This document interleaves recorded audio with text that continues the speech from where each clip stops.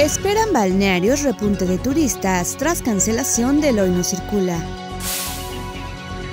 Con la cancelación del hoy no circula sanitario, balnearios, parques acuáticos y centros ecoturísticos de Ixmiquilpan esperan un repunte en el arribo de turistas a la región. Mediante rueda de prensa, Eugenio Cruz García, presidente de la Asociación de Balnearios, Parques Acuáticos de Ixmiquilpan, en compañía de Crescencio Montiel Ibarra, tesorero, y Luis Alfonso Corona Hernández, secretario, indicaron que ante la contingencia sanitaria de COVID-19, las pérdidas económicas a este sector comenzaron a impactarlos drásticamente debido a la restricciones y en su momento el cierre total de estos lugares. Sobre el impacto económico, ejemplificó con la reciente Semana Santa que no se obtuvo ni 50% de las ganancias que se tenían en años anteriores a la pandemia. De acuerdo con Corona Hernández, en su momento buscaron audiencias con autoridades estatales, así como con seguridad pública para solicitar el cese de este programa. Con la aprobación del programa desde el lunes pasado, esperan un repunte de asistencia a los 13 balnearios de la región. Con información de Nancy Aranda.